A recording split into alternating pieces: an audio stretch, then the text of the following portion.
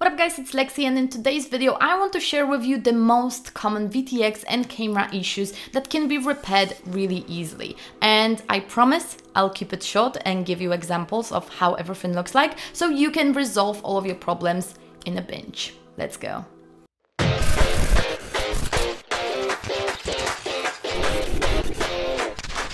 When it goes to vision issues, I think this is one of the most annoying issues you may actually have because everything works great but you cannot see anything. And troubleshooting them may be also kind of annoying because you never know. Is it camera or is it VTX?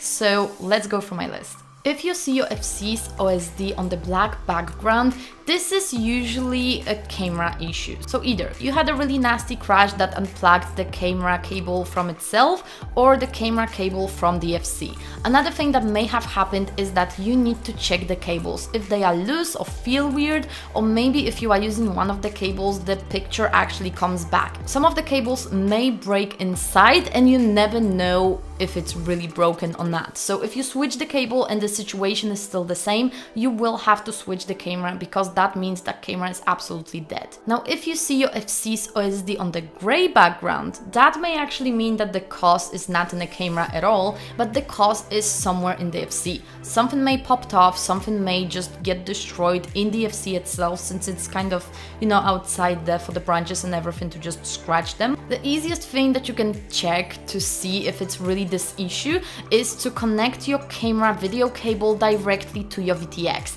if this is actually helping, that means that probably you lost your FC's OSD, but the camera is working. So if you really need to fly right now, this is the easiest thing and the quickest one that you can do. Now, another common issue is all types of lanes that you can see in your vision. So let's go through those. If you see weird squares all over your vision, this may actually be an issue caused by the fact that one of the screws is touching the motor windings. If you have a vision that looks basically like this DVR, check out all of your screws if any of them is touching anything in the motor itself. The screws should be sticking a little bit out so you know that they are actually holding the motors, but they shouldn't be sticking too much and touching any part of the motor itself. If you see white lines in your vision, that usually means an excessive electrical noise that gets to the camera or VTX or actually both. Putting a capacitor on your ESC or your power cable usually fixes this issue.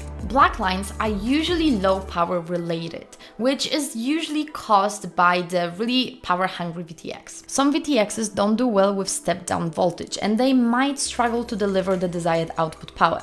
And if you are experiencing any type of black lines in your vision, you may actually discover that it's getting worse whenever you are on a higher power of your VTX. What you can do to fix it is to power your VTX directly from the battery if it's suitable for it, or you may have to switch your VTX because it's either faulty or destroyed. Since we're on VTX, powering VTX directly from the battery is really noisy. Nowadays, most VTXs have some kind of a filter that works for the power circulation within themselves, but also from the output 5 volt. Now on this side, FPV cameras have little to none filtering when it goes to this. If you want to eliminate the noise from your VTX and camera, you need the cleanest power possible, and this is where capacitors go to play. Not only capacitors, twisting the video and ground cables all together is actually acting like a natural filtering, so it's a really good thing to do. Not all of them, so not the red black, yellow, but just the black and yellow cable, because that will get rid of a little bit of a noise. If your vision started to have really weird colors such as greenish or pinkish, this may mean a couple of things. One, you have been flying for a long time and your goggles may be overheating, which is absolutely true and I don't know why is it happening, or that your camera is faulty and you had one crash a little bit too much.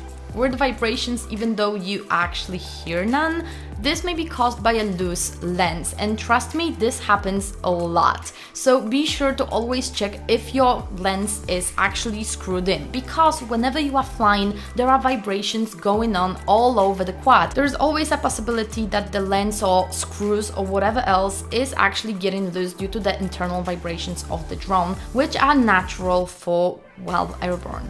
The same happens when your vision gets slightly blurry. It may be that your lens unscrewed just a little bit and now it gets you a little bit less of a focused view. So when you see something like this happening, be sure to land immediately because at one point you may actually lose the lens and looking for it is not on the top of your list of priorities, trust me with that.